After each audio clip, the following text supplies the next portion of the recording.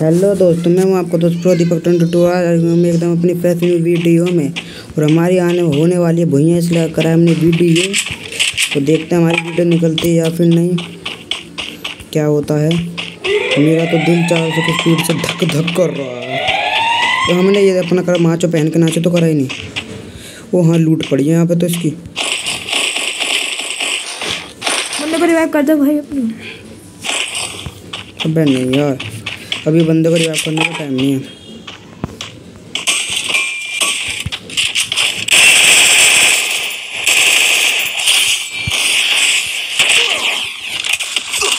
अबे यार, दोस्तों चलो, वीडियो को लाइक कर देना शेयर कर देना सब्सक्राइब कर देना, मिलते हैं अगली वीडियो में बाय बाय